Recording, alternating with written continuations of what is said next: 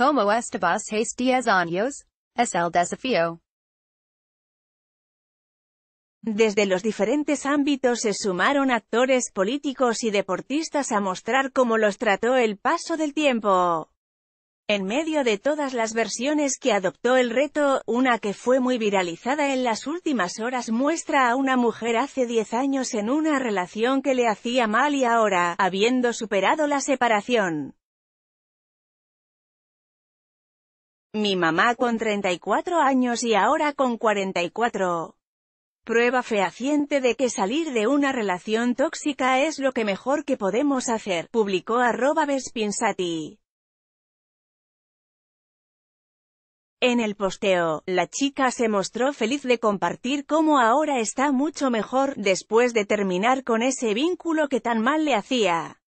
Hubo decenas de reacciones y comentarios. Muchos destacaron como arroba que con mi abuela pasó lo mismo. Hoy con 70 y largos es más joven que a los 57. Grandes ejemplos de lucha y superación. Punto con mi abuela pasó lo mismo. Hoy con 70 y largos es más joven que a los 57. Grandes ejemplos de lucha y superación.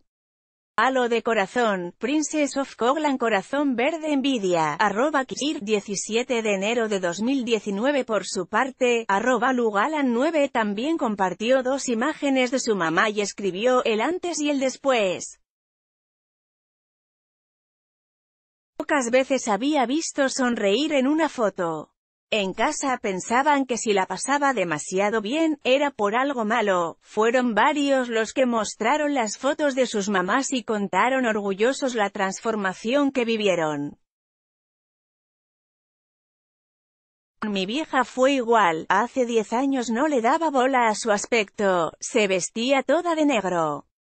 Hoy en día es capaz de ponerse un pantalón naranja, sombrero y remera con flores y sale recontenta. Con mi vieja fue igual. Hace diez años no le daba bola a su aspecto, se vestía toda de negro y cuando le decía que pruebe ponerse algo uva o azul me sacaba cagando. Hoy en día es capaz de clavarse pantalón naranja, sombrero y remeras con flores y sale recontenta lágrimas de felicidad. Yesa Avedra, arroba yes barra baja tr, 17 de enero de 2019 Nina se animó a subir dos fotos en las que está con su hijo.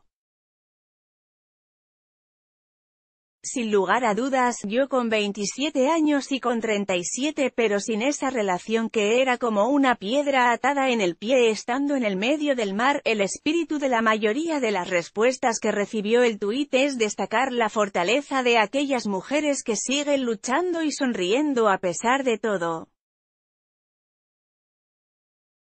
Veo a tu madre y no puedo evitar recordar el caso de mi tía.